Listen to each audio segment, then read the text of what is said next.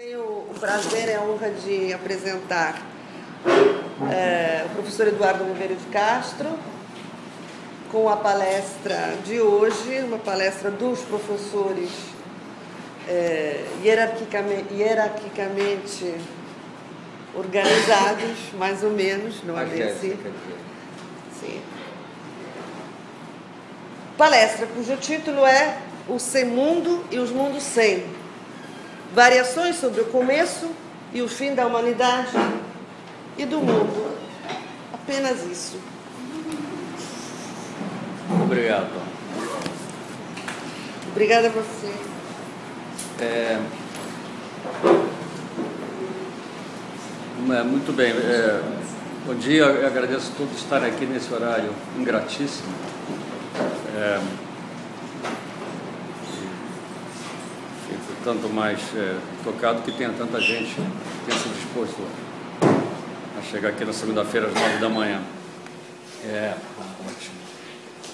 É, o que eu vou apresentar para vocês hoje são, na verdade, notas, notas de, de uma pesquisa que está muito no começo ainda, né, um projeto assim de talvez um artigo, um artigo ainda que está em pura é, estado de veleidade, digamos assim, né, que é um artigo que eu estou esboçando é, junto com a Débora Danovski, que está aqui, e com Alexandre Nodari, que estava aqui na sexta-feira de manhã, que está dando o curso comigo.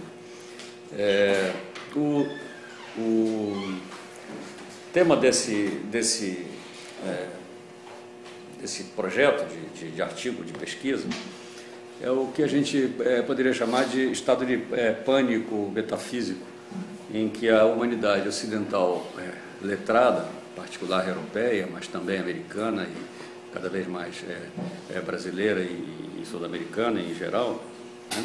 é, esse estado de pânico metafísico que essa humanidade ocidental letrada parece ter entrado nas últimas décadas. Né?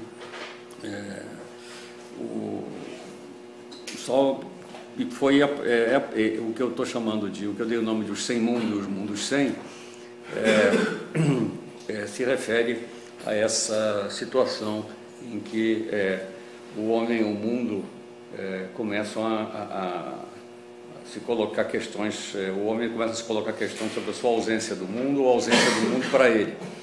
É, as, as, é, começa a tecer variações de, de é, digamos, míticas, vamos dizer assim, a respeito do que acontece com o homem quando se lhe tira o mundo o que acontece com o mundo é, quando se lhe tira o homem. Né? É, as palavras que eu usei foram humanidade e mundo. São palavras ambíguas, ambas, muito carregadas, né? É, fim, o começo e o fim da humanidade, do mundo. É, a humanidade de cara é uma, é uma palavra ambígua porque ela traz no mínimo duas faz no mínimo duas operações, né? de um lado uma, uma sinédoque política, porque quando a gente fala humanidade, nesse caso em particular, né? nós estamos nos referindo privilegiadamente a, a, a nós, os ocidentais letrados, né? nós, naturalmente, quando nós sendo brasileiros, essa, essa, essa localização é ainda mais ambígua, né? mas enfim. E, em segundo lugar, uma confusão ou uma indistinção entre o que em inglês se distingue como humanity and humankind, né? isto é, entre a condição moral da humanidade né? É, e, a, e, a, e, a, espécie zoológica é, Homo sapiens, né?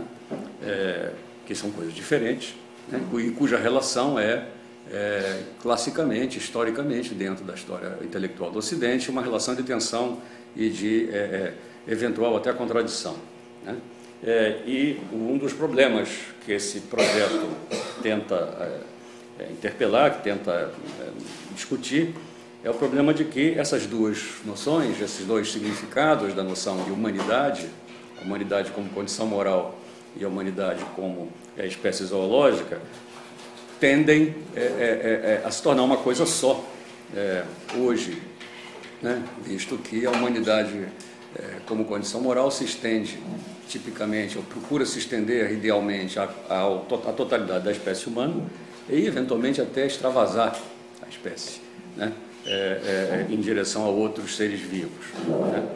É, e mundo, por sua, por sua vez, é uma palavra complicada, talvez mais ainda, porque no mínimo é, define três, é, é três é, se refere a três coisas distintas. De um lado, o que a gente poderia chamar o ambiente, o Umwelt, né, da espécie humana. Mundo é mundo, entendamos o mundo humano, o ambiente que corresponde às disposições e às capacidades da espécie humana. Né?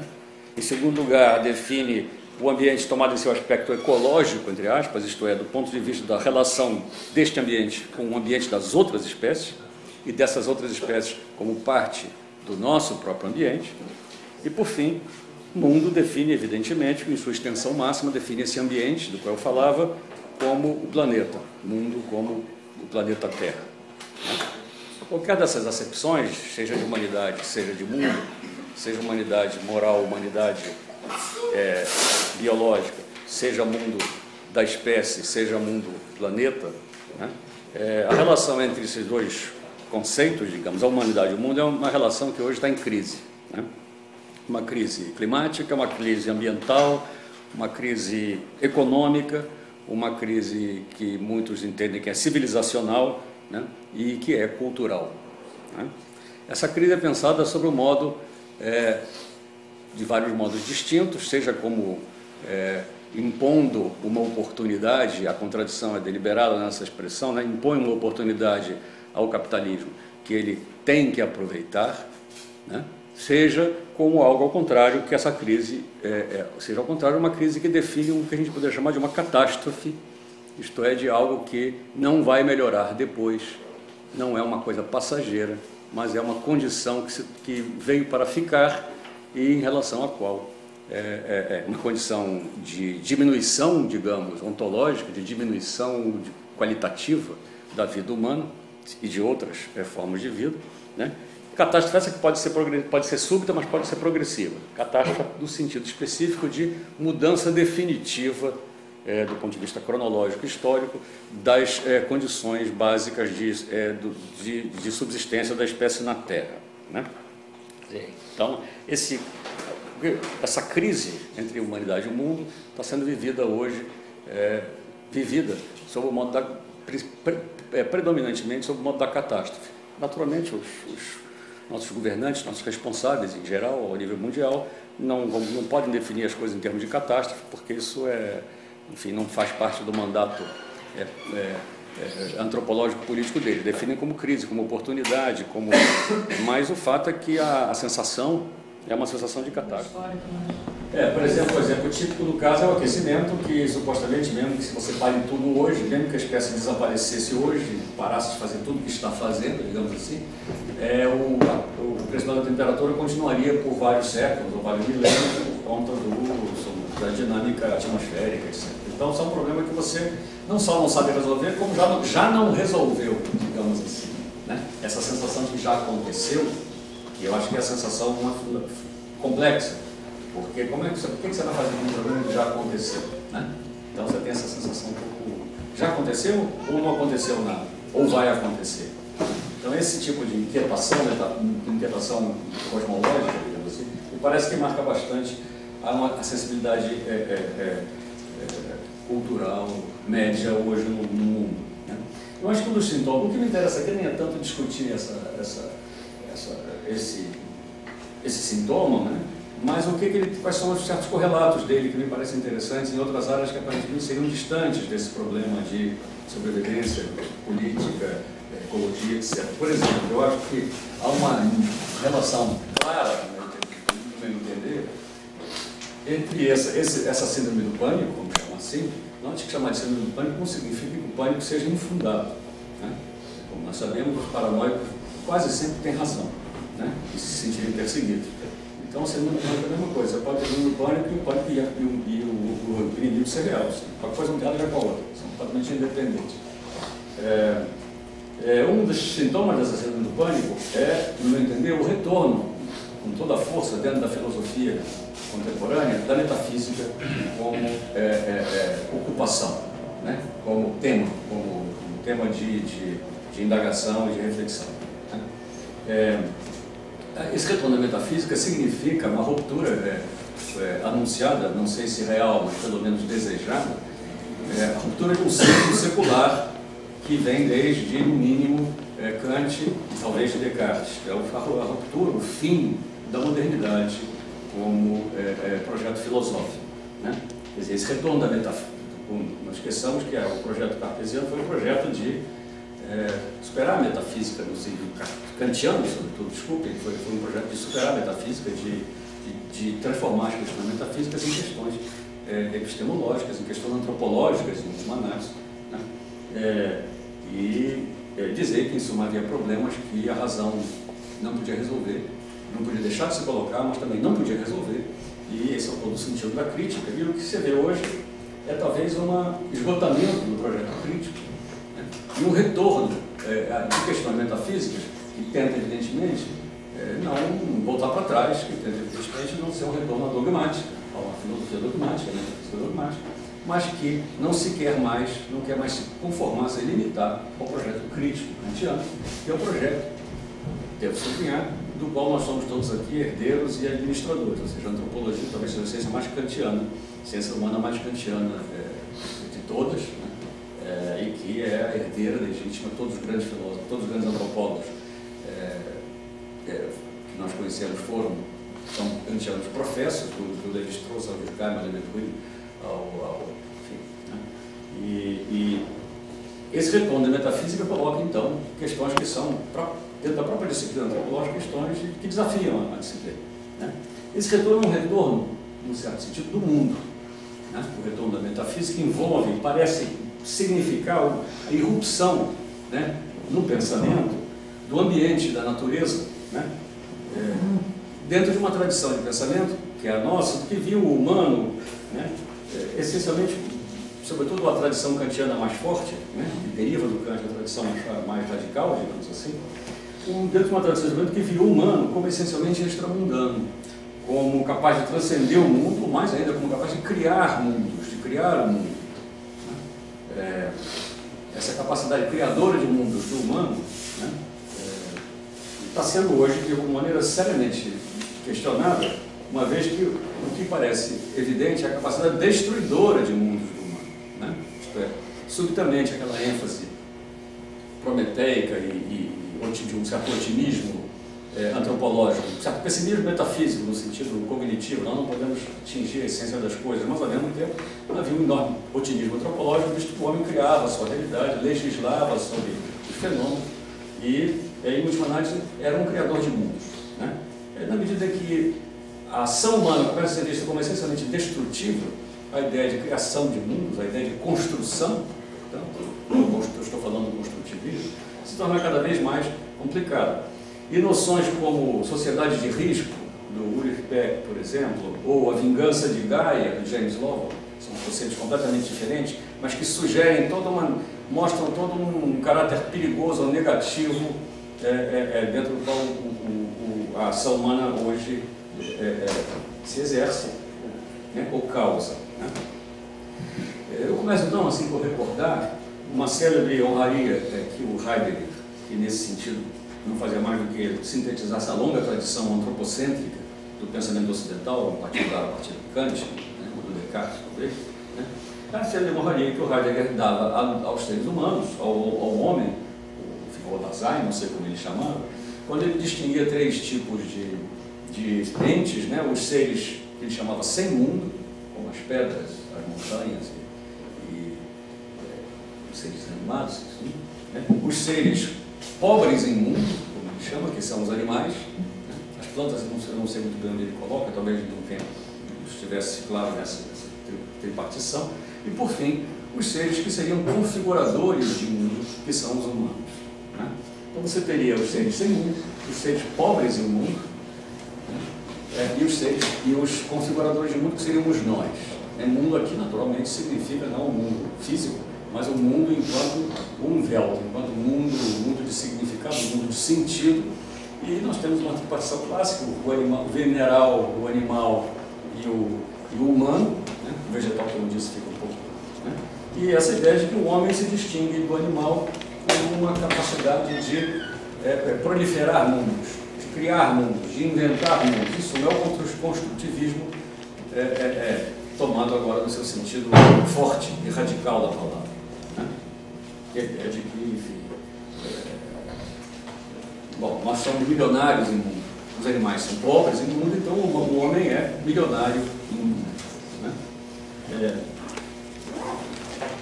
o que parece estar acontecendo hoje é, né, voltando agora um pouco para trás, para Kant, depois para frente, para certo, para frente do Heidegger, para certos temas tendentes da metafísica atual, é que o que aparece é que essa riqueza imundo da humanidade se vai revelando uma riqueza puramente nominal, né? uma riqueza que poderia ser literalmente sem? Então, essa é um certo fim da liquidez metafísica que caracterizava a, a, a sensibilidade ocidental de Kant a hoje, pelo menos. Né?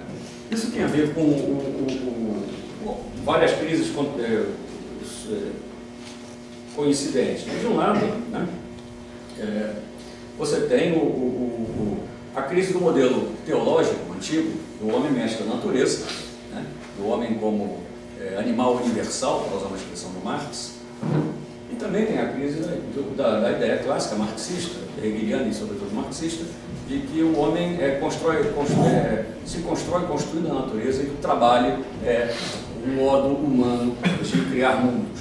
Né? O, essa, essa, essa, essa, essa metafísica prometeica, cria, criacionista nesse sentido, né? É, que vai desde a teologia cristã clássica até o marxismo, com a sua ideia do, homem como é, produtor de, de, de mundo, né? pelo trabalho, é, é, está claramente em crise em todos os sentidos, desde o fato de que o, a produção material se tornou subitamente, é, digamos, é, deslocada por, por produções, por uma, né, por, uma, por, uma, por uma economia que não parece estar descolada da materialidade e ao mesmo tempo, do outro lado, você tem uma, uma, deca, uma decadência das condições materiais em geral, então você tem uma espécie de paradoxo, de um lado uma economia cada vez mais virtual, cada vez mais nominal, cada vez mais abstrata, e de outro lado é, limites ambientais e ecológicos cada vez mais evidentes. Na outra ponta, ou seja, é como se tivesse é, a, a, explosão do, do, do, do, do homem criador de mundos pelos dois lados. Né? É, essa, essa tudo isso aparece como, como uma crítica que um filósofo francês contemporâneo, é, crítica a, aquilo que o filósofo francês contemporâneo, o Quentin Meillassoux, que vem ser filho do nosso colega Claude Meillassoux, é, Quentin Meillassoux chamou de crítica ao que ele chama de correlacionismo. O correlacionismo é o nome que ele dá genérico para é, a filosofia, o que ele chama também de filosofia do acesso filosofias do acesso ou a ideia de que o homem e o mundo são entidades, categorias, é, posições interdependentes, interconstitutivas. Não há mundo sem homem, não há homem sem mundo, ou, para simplificar, não há objeto sem sujeito, não há sujeito sem objeto, que é, em última análise, isso que a gente está falando. Essa ideia de que o mundo e o homem se interconstituem né, é o que ele chama de correlacionismo, né, que ele, que ele é, é, a, que ele imputa a, tradição kantiana, a grande revolução kantiana, e ele, ele denuncia como sendo um, um, um, golpe de Estado, digamos assim, da filosofia, é, no momento em que a ciência começava a produzir um, um mundo é, cognoscível objetivo, a filosofia é, dá um, literalmente um golpe palaciano e é, subordina esse mundo ao, ao homem. Aí, então ele, ele o Meilson é bastante temente a respeito da, do, do equívoco ou, do, ou, da falsidade do nome que Kant reivindica para a sua filosofia, que é o nome de Revolução Copernicana. Ele disse que foi o contrário. O Kant fez uma revolução ptolomaica, porque ao fazer o mundo girar em torno, o mundo girar em torno do sujeito, o objeto girar em torno do sujeito, né, a, o mundo girar em torno do homem, ele, na verdade, não faz uma revolução copernicana, não faz o contrário do Copérnico, que tinha né, feito a Terra girar em torno do Sol, o Kant faz e faz, faz a Terra e o Sol girarem em torno do homem. Então, o que ele fez, na verdade, foi uma revolução ptolomaica e que, é, desde então, a filosofia e a ciência se separaram, e, é, basicamente, e que a, a, a, a filosofia dominante do, do Ocidente passou a ser essa filosofia do acesso, a filosofia que eles chamam de correlacionismo, e que na verdade é o construtivismo genérico, que a gente poderia chamar, construtivismo social, cultural, filosófico, linguístico, né? É, que é o construtivismo, que é, de certa maneira, a nossa ideologia espontânea, a ideologia espontânea do antropólogo, né? e, na verdade, de todo é, cidadão civilizado do Ocidente. Né? É, menos os cientistas positivistas e etc.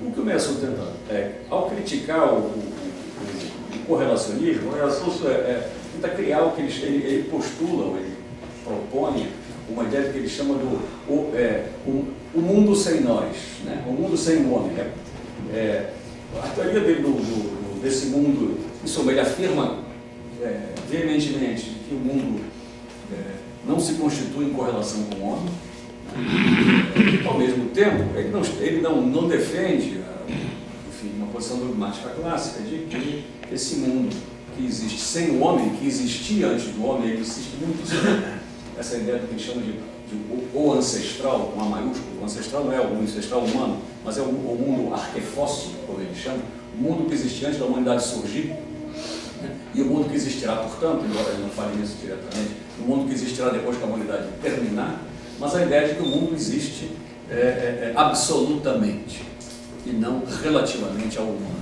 Né? É, e, mas esse mundo que existe absolutamente não é de forma alguma, alguma um mundo é, racional, de certa forma, isto é, que segue, as, é, que segue por exemplo, o princípio da que especificamente o, que ele, o inimigo dele é o princípio da razão suficiente, o princípio leibniziano, enfim, um dos princípios fundamentais, uma das leis fundamentais da ontologia básica, que é o princípio da razão suficiente.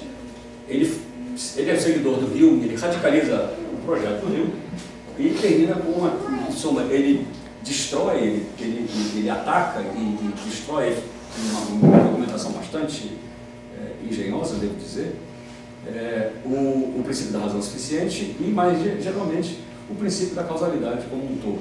Né? Ele radicaliza a posição do ceticismo pliniano em relação à causalidade e propõe que a única coisa necessária no real é a contingência. Ou, em outras palavras, ele, prova, ele faz uma espécie de argumento ontológico ao contrário, né? É, em que ele prova é, argumentativamente que tudo pode acontecer. Literalmente. É, em que não há leis científicas. E que ele prova e que a ciência, é, é, as leis científicas podem se modificar a qualquer momento. É, porque não há nada que. A famosa questão rimiana da indução, como é que eu sei, como é que eu garanto que o sol vai aparecer amanhã? Né?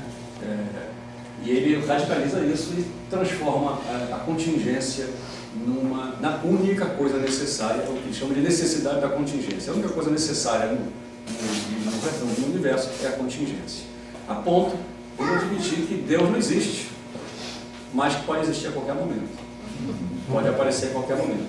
O que leva ele, tem um texto dele que talvez seja uma, uma, uma piada, talvez não, dele próprio, uma piada bem complicada, é de que ele diz que a ressurreição da carne é uma, é uma hipótese perfeitamente é, admissível, visto que tudo pode acontecer, inclusive a ressurreição dos mortos.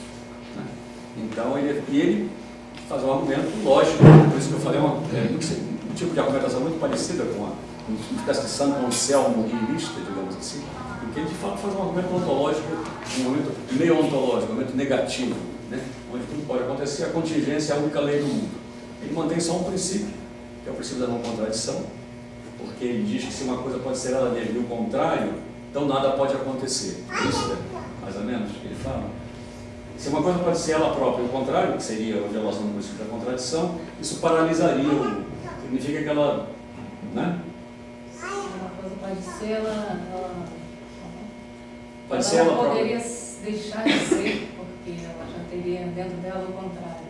Portanto, é, isso prega uma contradição.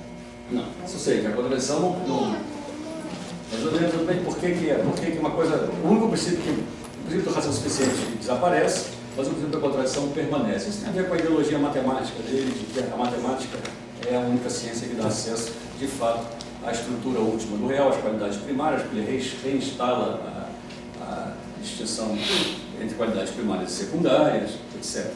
Mas o, o ponto que é, é interessa mais nessa. Bom, a, a metafísica do Meia Sul tem conquistado é, inimigos evidentemente indignados, furibundos, mas também tem conquistado uma audiência surpreendente, visto que a tese dele é uma tese, no mínimo, digamos, é, absurda, né? digamos assim, no sentido deliberadamente, o trem deliberadamente exagerado, no sentido tudo é possível, a contingência, eu posso provar que a única coisa é, é necessária é a contingência. É, e o que interessa aqui é é a, é a me, me, interessa é como um argumento que visa especificamente é, demolir o, digamos, o otimismo construtivista, né, de duas maneiras, de uma maneira dizendo que o correlacionismo é uma demissão metafísica, é um golpe, de, é um golpe é, palaciano é, que, ao mesmo tempo que dá um poder imenso ao homem, esse poder é um poder completamente é, fantasmático poder que não manda em nada, digamos assim. E de outro lado, a ideia de que esse mundo que existe, existe um mundo real, mas esse mundo real é um mundo, é, digamos assim, é, fantasmagórico. Né? É um mundo em que tudo é possível, é um caos. Um caos, em suma, ele instala como, como é uma ontologia do caos, qual as leis podem surgir e desaparecer, ele tem um argumento sofisticado de por que as leis não ficam mudando o tempo todo, a cada minuto diante de nós. Né? Não é sabe, ou haveria esse argumento contra ele, mas se tudo pode acontecer, por que tudo não acontece o tempo todo? Ele tem toda uma, uma explicação sofisticada, pelo menos argumentativa. Né? Tudo pode acontecer, inclusive as leis vão se modificar. Né? E assim vai. É, e é difícil contra-argumentar, devo dizer, lendo o livro dele. Chama-se Depois da Finitude, que é justamente depois da, do Kant e Heidegger, etc. É, mas o que me interessa aqui um pouco é a insistência do Mensur no, na ideia de imaginar um mundo sem gente. Né? É um mundo que independa do homem e que ele insista tanto sobre esse mundo que existia antes do homem, que a ciência tem que aceder, quer dizer, é dever da ciência aceder a um mundo independente do, do, da presença humana, e um mundo que existirá depois do homem, ou seja, a ideia de que existe um mundo completamente indiferente à presença humana né? esse mundo sem gente. Me parece que esse, que esse mundo sem gente, né? enquanto problema metafísico, colocado nesses termos, e que esse mundo sem gente seja um caos, está claramente ligado com um vista histórico, assim, imediato, né? com a conjuntura histórica antropológica que nós vivemos, com essa obsessão que nós estamos vendo hoje dos, do apocalipse, do mundo, e a imaginação cada vez mais é, cada vez mais rica. Você tem filmes de televisão, filmes de cinema, filmes de Hollywood, é, livros de science fiction, etc., em que imaginam um deles, por exemplo, que é um filme bem interessante, chamado, acho que é After Us, né, que chama, depois de nós, The World After Us, que é um mundo em que você tira, você começa a filmar Nova York, eles, é um filme sobre Nova York, depois que todo mundo desapareceu. O que, que acontece com a cidade de Nova York é, depois que a espécie humana, imagine que a espécie humana suma, o que vai acontecer com os seus é, é, fósseis, literalmente. Tudo que eles deixaram, edifícios, é, toda a civilização. E eles começam a mostrar, para deleite, é, digamos, masoquista da plateia, que as coisas vão, começam a. Quanto tempo leva para para as plantas começarem a tomar os edifícios? Quanto tempo vai durar a, a, a, a ponte de Brooklyn sem manutenção? É, a ponte começa a cair, o pai de sempre começa a torcer, as coisas começam a apodrecer, os animais começam a voltar. Isso não existe a ideia de que em 200, 300, 400 anos você vai ter uma situação semelhante ao Yucatán, que você tem aquelas pirâmides maia, mas o resto é floresta fechada e vai precisar de um arqueólogo marciano muito esperto para conseguir descobrir. Esse vestígio do que seria a grande ubris, a grande civilização, nova civilização humana do planeta, Nova York e tal, em 200, 300, 400 anos não vai, ficar, não vai se ver nada da humanidade. Então essa ideia, essa, essa sensação, que ao mesmo tempo é ruim, é claro, né? mas ao mesmo tempo é boa, porque você inspira também ao, ao, ao espectador a ideia de que, bom, a estrago que a gente fez no mundo rapidamente vai ser curado, porque a Terra é independente de nós mesmos e não vai dar 10 mil anos a Terra vai esquecer de nós. Né? Outros são mais radicais, porque tem outros filmes, outras imaginações, porque tem, tem o, esquenta, o aquecimento do planeta, vai mudar completamente a, isso, a ecologia geral do planeta. Então, esse mundo sem nós, depois de nós não vai ser o mundo que era antes de nós. Então, primeira questão. Esse mundo depois de nós é igual ao mundo antes ou é muito diferente? Porque os humanos vão produzir uma extinção em massa, uma extinção equivalente ao, à grande extinção do Cretáceo, coisa parecida, vão surgir novas espécies, porque a, a temperatura da Terra vai ser 5, 6, 7 graus mais quente, os oceanos vão tomar metade dos continentes e tal. É toda sorte de, de, de imaginação. Né? Então, essa, essa, esse mundo sem gente, né, é, me parece que, que, que é, é, uma espécie de resposta, de resposta é, pânica, ao que na verdade era o, a situação anterior, digamos, do hiperconstrutivismo que se ia constituindo como uma espécie de discurso dominante é, no, fim da década, no fim do, da, da, última década do século passado. Né? Porque o, o construtivismo levado, ao, digamos, ao extremo é um caso de gente sem mundo, né?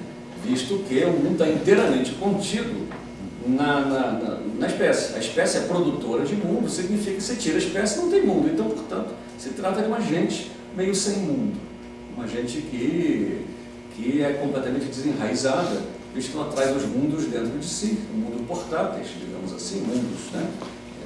E que, é, então você tem uma espécie de virada brusca de um, uma situação de gente sem mundo, que é, vamos chamar assim, antropocentrismo ou copernicanismo kantiano, levado a ao paroxismo com o pós-modernismo hiperconstrutivista, etc.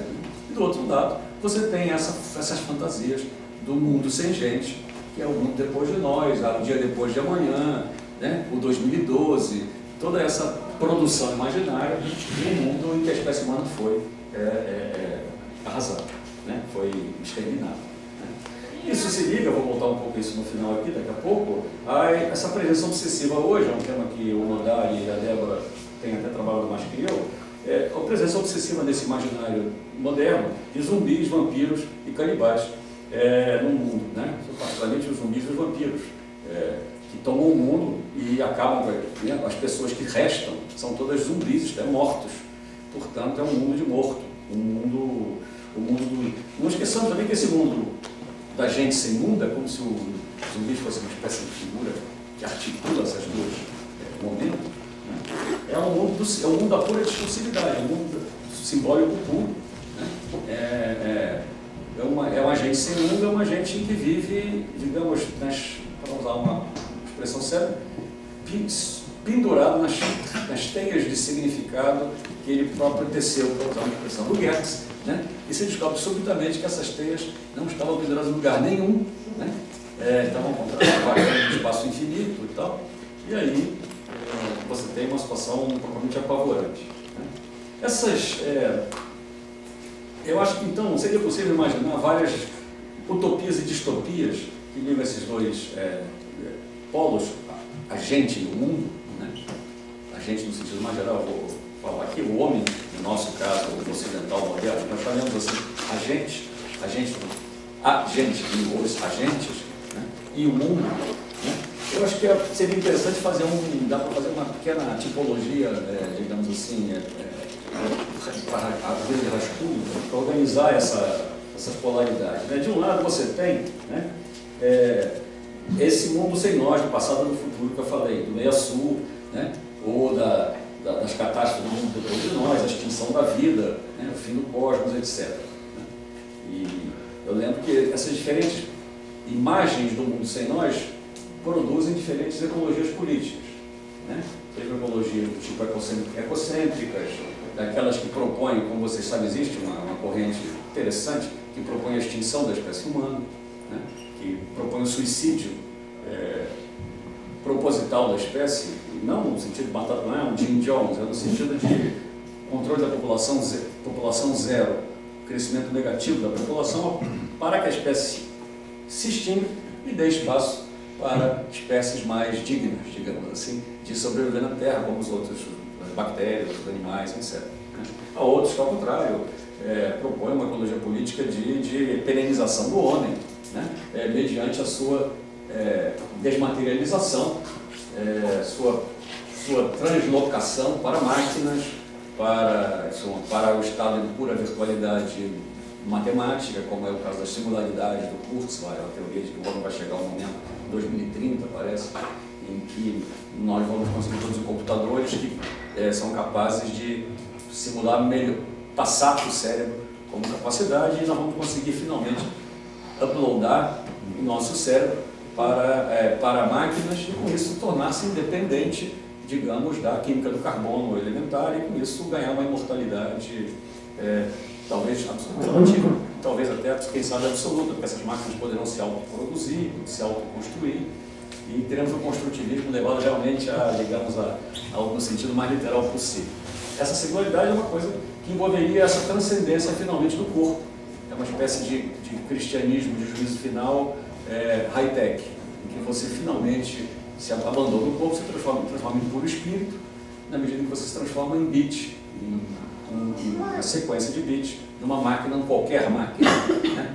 A máquina se torna meramente um suporte para, essa, para, essa, para o seu eu. O sujeito se torna independente do corpo e da matéria. Então são várias maneiras de imaginar isso. Né? É, um outro, é, é, enfim, outro tema que aparecia aqui, muito, muito é, existe um outro, um outro imaginário utópico muito interessante, que vai aparecer, a science fiction tem, tem as soluções todas que você puder imaginar em relação a esse problema da gente do mundo. Né? Porque a science fiction é a metafísica popular moderna. Né? É lá que se constroem os mitos é, modernos.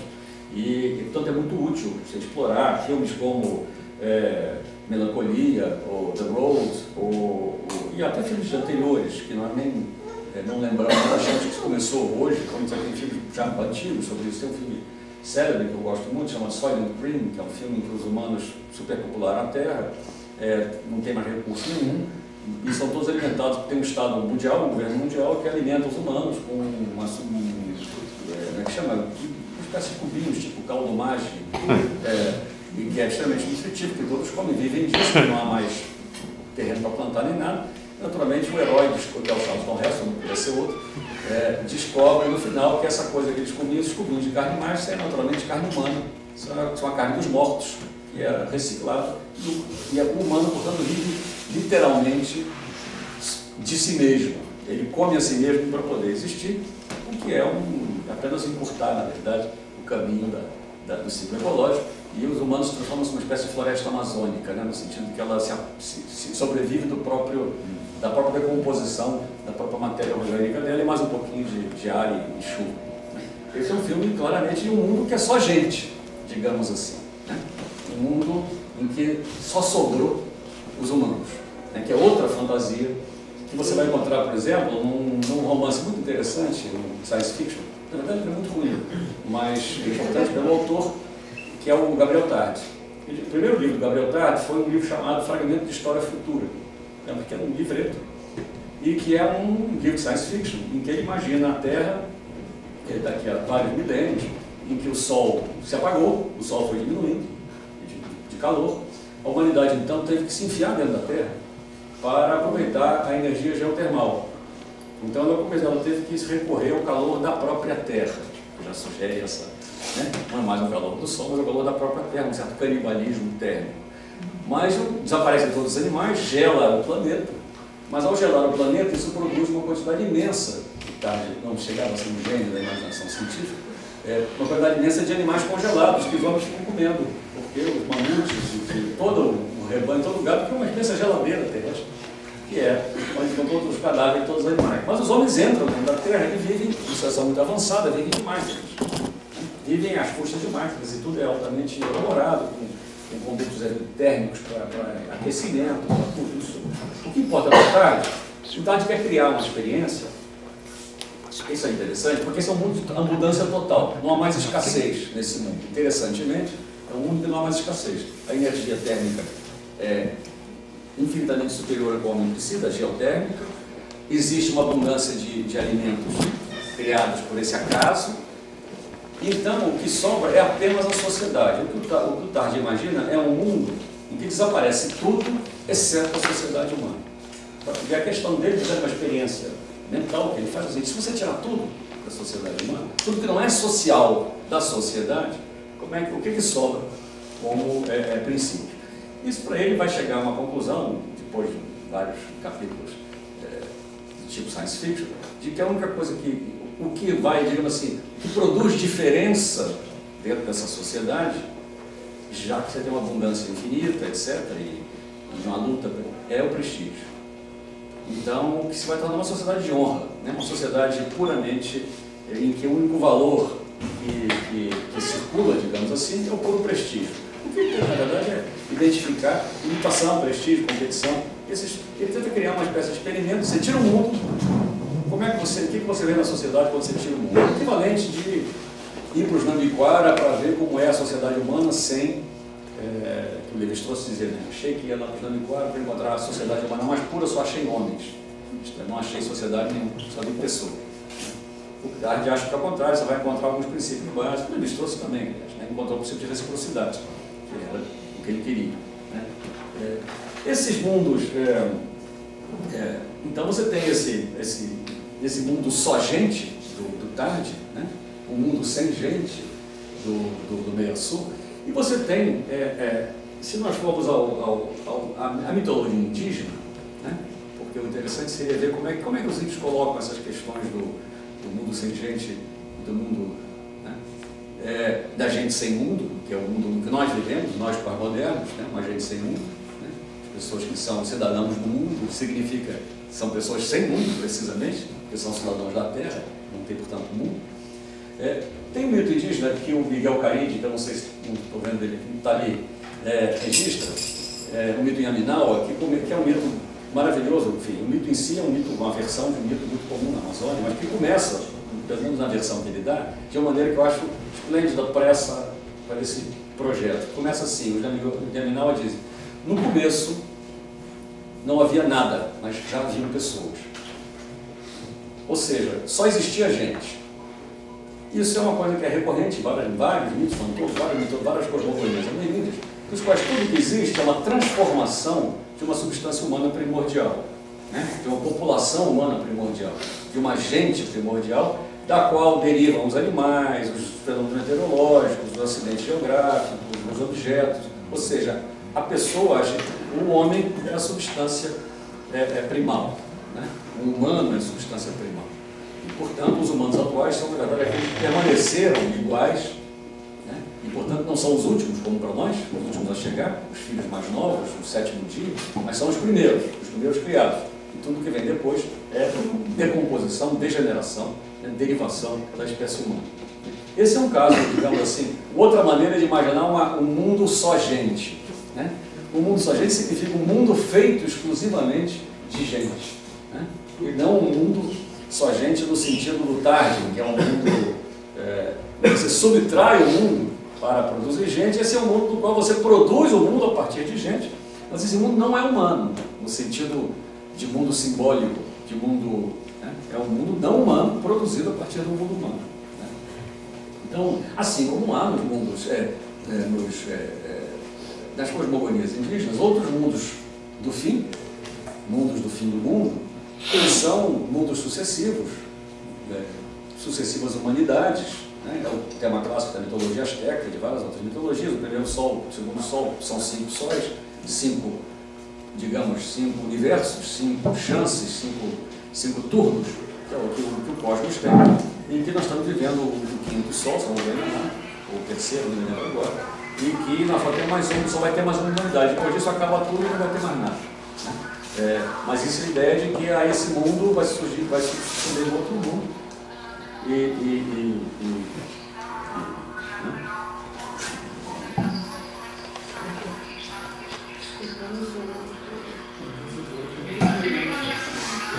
O gravador, desculpa, o gravador começou a funcionar aqui porque ele está tentando desligar. Não é meu. É. Bom, outra, uma outra variante interessante que tem sido muito importante dentro do, do dessa, desse imaginário do mundo da gente, bom, tem uma, tem as variantes que a gente poderia chamar é, as, as Robinsonadas, né? isto é, as experiências em que você tem um, um, um quando nós, esse nós, a gente vira um eu. Né? Se trata, por exemplo, do, do, do Robson Crusoe, em que você retira a, a, a, a sociedade, né? do ponto de vista de outros seres semelhantes, mas produz um homem, né? um, um sujeito sozinho, diante do mundo é, sem humanos. Né? O Robson é talvez a primeira grande experiência dessa, dessa, dessa. Como é que você. O que, que acontece quando você. É uma experiência de pensamento. O que acontece quando você enfia um homem sozinho numa ilha? É claro que o, o, o Defoe é, se trapaceou o tempo todo, como nós sabemos, né? mas essa trapaça é, não é uma trapaça do mal, é uma trapaça do bem, no sentido que ela produz pensamento, ele cria essa situação em que é preciso que esse sujeito tenha levado tudo que era precisamente não humano, no sentido, não era pessoa, mas era feito pelo homem, para poder reconstruir a sociedade. Ele, vive ali porque ele conseguiu um pedaço do navio, um pedaço do, eh, de, um facão, conseguiu, e finalmente ele produz um confronto. Né? Ele cria um outro. É, não é por acaso que o, para o Robinson a, a relação social que o Defoe constrói tem que ser uma relação de servidão. Né? Quer dizer, é a relação social. O que, que o homem, um homem sozinho precisa? Precisa de um escravo. Né? Que é o o Robinson cria. Não esqueçamos que ele vai para ele porque ele, vai, ele estava saindo do Brasil, o Crusoe era plantador na Bahia, é, estava indo para a África num navio para contrabandear escravos, o navio naufraga, é por isso que ele vai parar nessa ilha. Ou seja, ele ia buscar escravos é, termina na ilha sozinho até que finalmente o escravo chega então sexta-feira. Né? Há outras ideias desse, desse mundo sem outrem, falar como Tournier, como Deleuze, na releitura do, do Robson. Esse filme recente, na verdade o livro é muito melhor que o filme, que é o The Road, não sei como chamou o filme em português, é um livro do Cormac McCarthy, é um livro é, terrível do ponto de vista, é um livro bastante impressionante, é, que é a história do, do, do, mundo que teve uma guerra, que teve alguma coisa que aconteceu que ninguém sabe o que é, o mundo acabou, no sentido que está totalmente, não há mais plantas, não há mais vegetação, não há mais animais, está tudo cinza, e, enfim, é um mundo como se fosse um mundo depois de uma guerra atômica. Só sobrou, é, um, é a história de um pai e de um filho que estão sozinhos nesse mundo, essa, essa, esse fim desse mundo, esse fim do mundo aconteceu não muito tempo atrás, porque eles estão ainda ali, o pai está com uma doença mortal, o filho tem 12 anos, eles saem pelo mundo é, procurando algo, não tem o que comer, não tem nada, eles encontram um, uma coisa meio robinsoniana, que é um, uma adega, uma coisa embaixo, passam uma semana ou duas ali comendo tudo que tinham, voltam, e eles começam a perceber signos no, no ambiente de que ainda existem outros seres humanos sim, mas que naturalmente são canibais e que é, a mulher reverter a um estado de natureza robesiano, em que enfim, tem canibais soltos por aí. Então o problema é como é que você, o que, você faz no mundo em que o outro é, é canibal. Que de resto é o caso da sexta-feira, só que não o Robson converte a sexta-feira porque ele salva sexta-feira de outros canibais. Mas o The World é um pouco isso. Ainda tendo, tendo ainda a questão do pai e do filho, quer dizer, existe todo um problema da, trans, da, como é que se diz, da continuidade, como é que. Mas no mundo também, que é um mundo sem, digamos assim, um mundo, como chamar, não tem mundo, né? E a gente que tem é uma relação de predação. É, na verdade, esses, esses canibais são quase como os zumbis, né? Seria um pouco os canibais do, do, do como macaco. São como zumbis, são seres dos quais não se pode esperar nenhuma, é, com os quais não se pode esperar nenhuma comunicação. Não dá para conversar com esse tipo de gente. Né?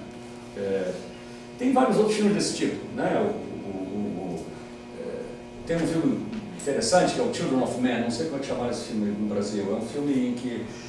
Filhos da Esperança? É, Filho da Esperança, que é um filme que a humanidade se descobre num momento dado do futuro não muito distante, incapaz de procriar, não tem mais, mulheres não produzem mais filhos, as mulheres se tornam estéreis, ou os homens, é, e não há mais filhos em lugar nenhum, então a humanidade está é, acabando. É, e é um, o clima da, da sociedade nesse momento é algo parecido com 1934, alguma coisa do Estado policial violentíssimo, etc. Mas é, tem um momento em que uma mulher negra é, engravida. Há uma mutação em que essa mulher, por acaso, engravida. E toda a história do filme é como é que você vai conseguir levar essa mulher. Né? Tem um herói, naturalmente, que levar essa mulher até a concepção, até a, a, a desculpe, ao parto. Né? É, e toda a história é um drama, porque essa mulher é a única que é a mãe da humanidade futura. Ou seja, mais uma vez, a história da redução da humanidade é uma figura só, né? em que você o que você vai fazer, como é que você vai... Enfim, tem vários filmes desse tipo, todos são imaginações, no sentido ativo da palavra, dessa relação entre o mundo e a gente. Tira um, tira outro, bota um, bota outro. Sem falar que aí se trata de, um, de casos reais, né? por isso mesmo muito mais é, é, sinistro, que são os casos em que os Robinsons existem Robinsons reais, que são, não estou falando dos prisioneiros japoneses que ficou na ilha, lá no Pacífico, achando que a guerra não tinha acabado, que já é um caso interessante, mas estou falando daquelas tribos indígenas brasileiras que subitamente se reduzidas a um indivíduo, ou dois, ou três. Né? E acontece com alguma frequência. Na região de Rondônia tem talvez quatro ou cinco tribos que são compostas de um homem só, ou de dois, ou de três. Né? Há um filme do Monsangarelli, o Colombiara, que é um filme sobre isso, sobre um homem que vive num buraco, é, um índio, pertencente a uma tribo, não me lembro agora se sabem qual é a tribo, não me recordo agora, provavelmente sim, mas que é o único sobrevivente do seu grupo. Canoeiro. Não, Canoeiro, não, não é canoeiro. ninguém sabe. Não sabe qual é. Ah, eles Tem o Espirictura, também tem vários grupos desses. Tem o Juma, que a, que a Luciana, minha aluna, estudou. São grupos que foram reduzidos. Esse caso é mais dramático, porque é um indivíduo. E esse indivíduo recusa qualquer contato de qualquer tipo. Ele mora num buraco, tem uma cabana, tem um buraco ele mora num buraco. As, o filme mostra os funcionários da FUNAI levando índios de outras etnias, deixaram uma mulher para ele, coisas que a FUNAI não se entrega. O cara não quer saber. Ele não quer nada, ele quer, ele quer viver só, completamente sozinho. Então você tem uma situação de, de um homem que se tornou o mundo inteiro, né, para ele mesmo. Porque não há mais nada, não há mais, não há mais gente no mundo para ele. Ele recusa qualquer contato. Até ou casos menos, menos dramáticos, ou talvez mais dramáticos, porque ele talvez viva num mundo completamente eh, fantasmal, né, esse índio último. Mas são casos de tribos com duas ou três pessoas. Então teve um caso sério das duas mulheres, esse foi Canoé, que acharam duas mulheres eh, indígenas, acharam duas mulheres, né? E o irmão. E o irmão, né? Só- é, o resto tinha sido massacrado pelos fazendeiros. Essas pessoas que sobraram, o foram massacrados, são chamados sobreviventes de massacre. Tem um outro filme fundamental, que é o do André Tonati, chamado Serra da Desordem, que é a história do, do, do Guajá, que foi morto, que, cuja, cuja, um jovem um menino Guajá, do Maranhão, cuja, cuja grupo local, cuja, cujo bando, foi exterminado por fazendeiros, ele sobreviveu, fugiu e andou, apareceu no sertão da Bahia.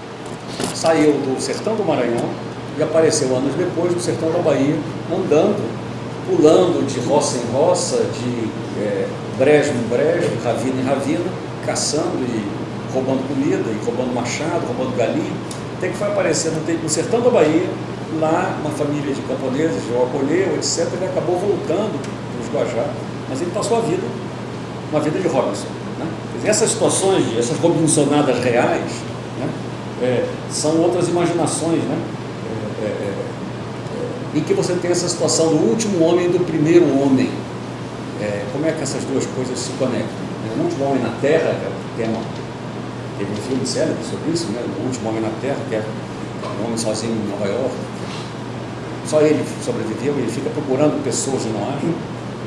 E a outra fantasia que é do primeiro homem, aquele que inaugura um novo mundo. Até certo ponto o Robinson era um pouco isso, falhou, né?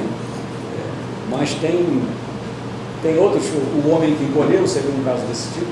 O incrível homem que encolheu, que vai diminuindo, diminuindo, diminuindo, até que ele, você pensa que ele vai desaparecer, ele na verdade entra numa outra dimensão, ele entra num outro mundo sub, subquântico, e lá ele se torna o primeiro homem.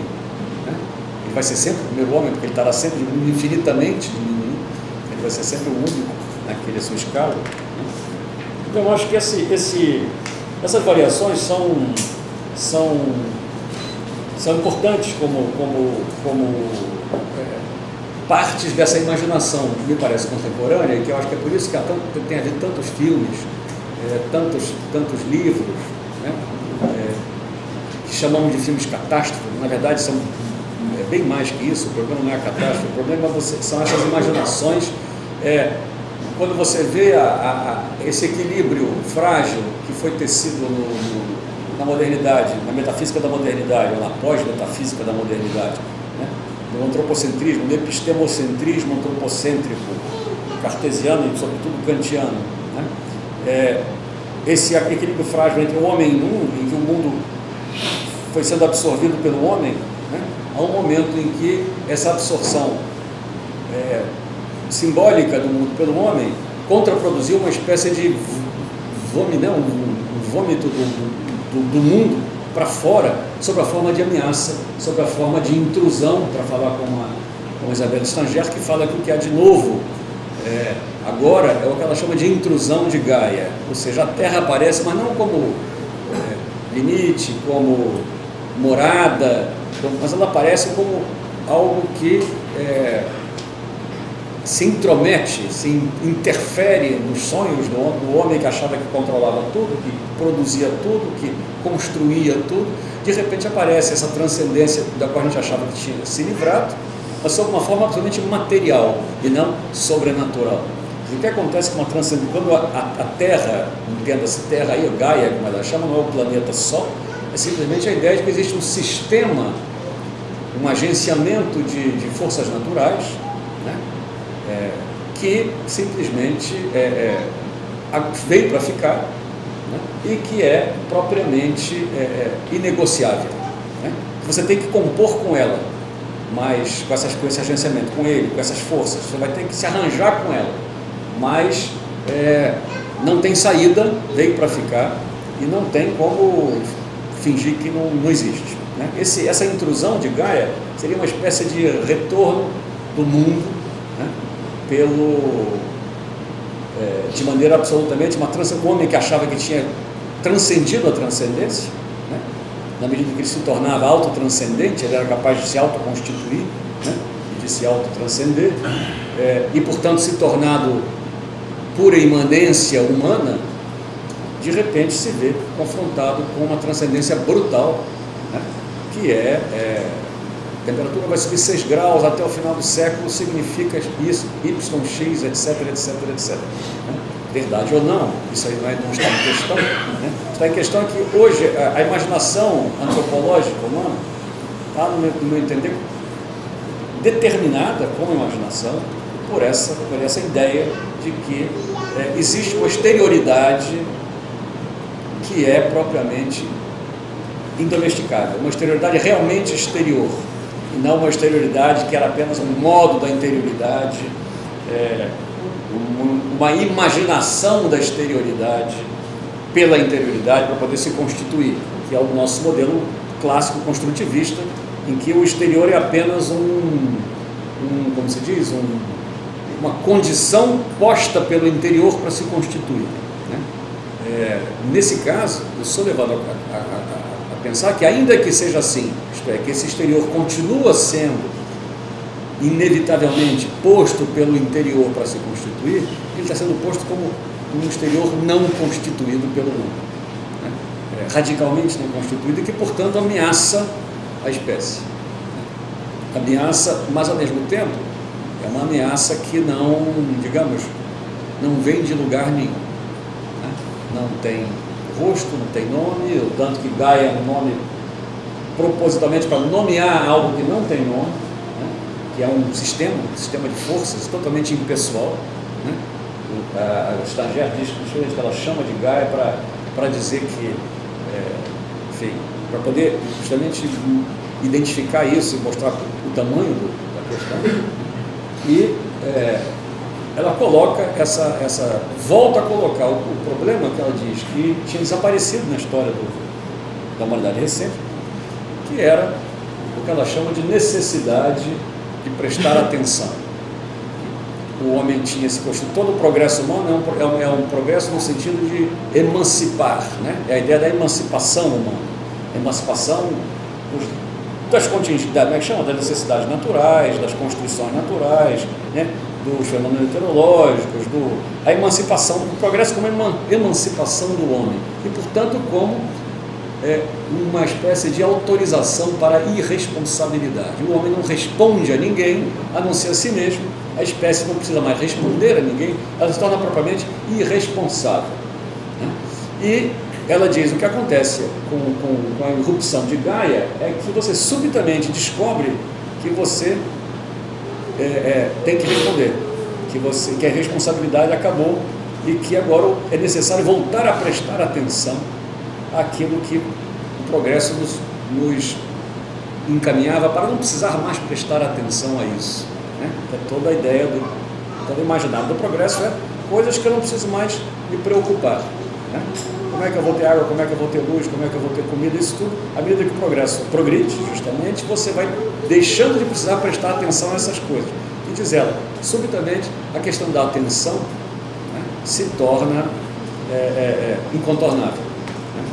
Portanto, é, muito pelo contrário, não é mais o, a desaparição do mundo que se colocava como problema, como vai ser na crise do pós-modernismo, digamos assim, né? um homem sem mundo, um homem moderno, um homem deslocalizado, um homem desencantado, né? homem é, é, que está livre, está tão livre, que está sozinho nos espaços infinitos, etc. Tem agora o contrário, exatamente um mundo sem homem. Né? A sensação de que, ou seja, voltou uma espécie de reencantamento do mundo, mas pelo lado da história de terror, assim. Né? Voltamos ao mundo das fadas, só que agora as fadas são vampiros e zumbis. Nós estamos no, no reencantamento, mas aterrorizante do mundo. Né? E essa é um pouco a situação contemporânea do meu, da minha é, avaliação desse jogo entre gente mundo, mundo sem gente, gente sem mundo, mundo só gente, gente só mundo, digamos assim, que seria, como eu chamaria, o, o mundo indígena, esse mundo primal, é um agente só mundo, porque né, o humano é apenas o mundo, é o mundo, tudo era, era humano, portanto, o humano era tudo. Era isso. Muito obrigado.